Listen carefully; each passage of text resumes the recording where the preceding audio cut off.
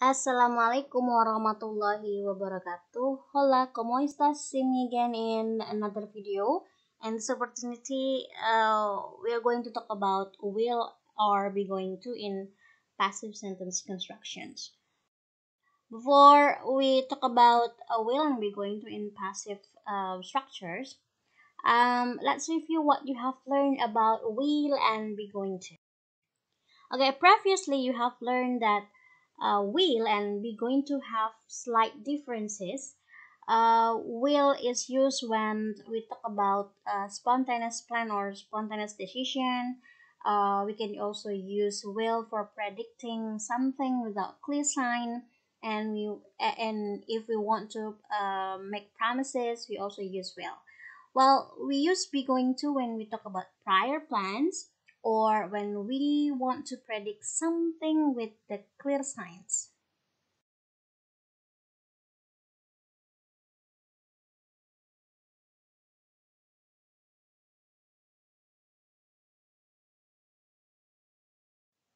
Alright, the big questions in this video is how we construct passive sentences with will and be going to. Alright, let's take a look here. I have an example. There is a picture with a man uh, having a problem with his bike, and then and the other man tries to help him, and then he says, Don't worry, I will fix your bike at once. Okay, take a look the first example. So the man says, Don't worry, I will fix your bike at once. Okay, now let's take a look another example if says, don't worry, your bike will be fixed at once. Here, again, the sentence is different right now. Don't worry, your bike will be fixed at once. Okay, now let's take a look here. We have two different constructions of the sentences. The first sentence is, don't worry, I will fix your bike at home while the second is don't worry your bike will be fixed at once. And the question is which one is active sentence?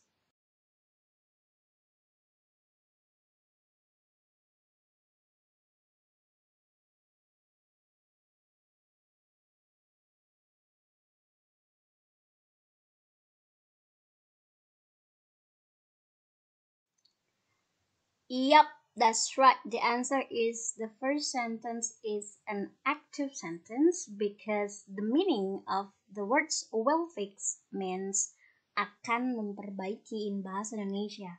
While in the second sentence, the words will be fixed means akan diperbaiki. Okay, now let's focus on the second sentence now. The second sentence says, Don't worry, your bike will be fixed at once. So the meaning of the words will be fixed is akan diperbaiki in uh, bahasa Indonesia. Now let's take a look the formulations of how the passive sentence is constructed with will. Here we have will and then together with be and right after the word be is followed by past participle. So remember, when we construct passive sentence with will, the formulation is will, be, and past participle. So we have already created a sentence with the words D with will. Alright, if one sentence is not enough for you, I have other examples uh, of using will in passive sentence. Here we got your application will be processed. Here's the words will be processed mean akan diproses.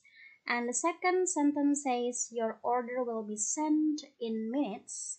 And the words will be sent mean akan dikirim.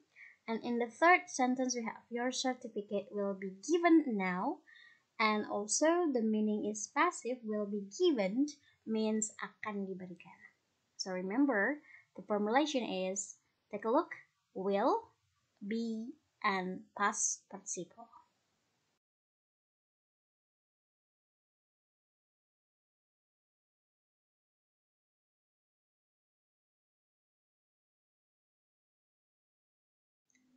Alright, now be going to in active or passive sentences. Now let's take a look the sentence I have made. It says, I'm going to redecorate my bedroom. And the second is, my room is going to be redecorated. So let's take a look two sentences I made here. The first sentence I say I'm going to redecorate my bedroom and the second sentence says I, uh, my room is going to be redecorated. Okay guys, let's take a look those sentences. We have different verbs. The first sentence has redecorate as the verb and the second sentence has uh, is going to be redecorated as the verbs. So the question is, which one um, is active sentence?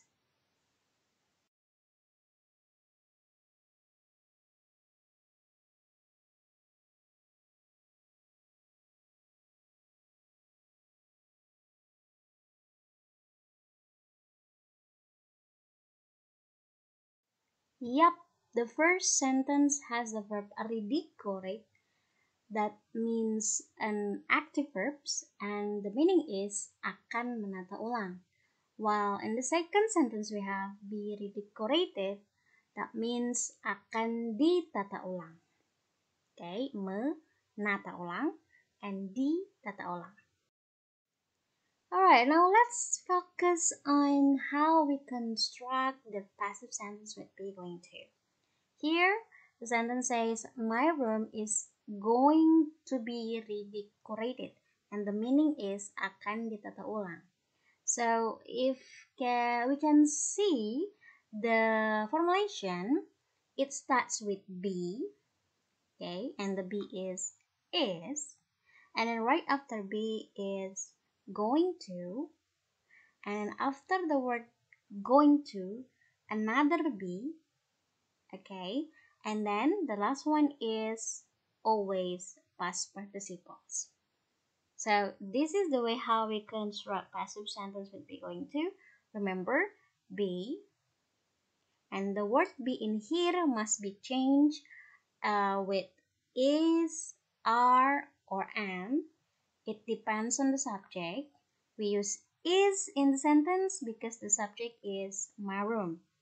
And then after that, going to, and then followed by be, and last is past participle.